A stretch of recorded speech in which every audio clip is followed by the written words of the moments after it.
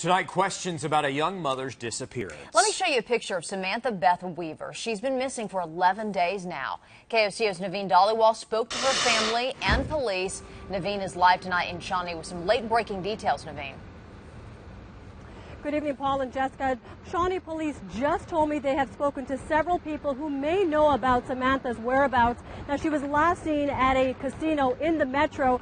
Tonight, her family is posting these posters around town. They say they are worried and they want her back home safe.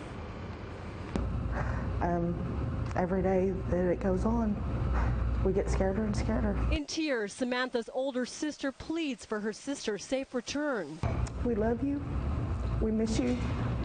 We're never going to stop looking. Police say the 27 year old young mother was last seen on June 15th. She sent this text to her ex fiance saying she was on her way to see him and their two girls. She never came. I, I, sent her messages after that with no response. In this home video taken this past April, Samantha enjoys every moment with one of her young daughters during an Easter egg hunt. So when she stopped checking up on her girls and. When she didn't call on Father's Day, we knew something was wrong. So the family called police. Uh, we've talked to numerous people. We've talked to the ex-fiance. We've talked to the parents. Um, we've talked to friends, local friends of hers. And while the police do their job, Samantha's family is holding strong and praying tonight. Somebody knows something out there. Somebody knows where she's at.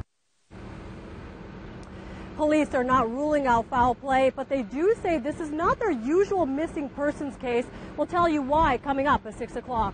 Live in Shawnee, Naveen Dhaliwal, KOCO Eyewitness News 5. Thank you, Naveen. And we do understand that Samantha's daughters live with her ex fiance right now.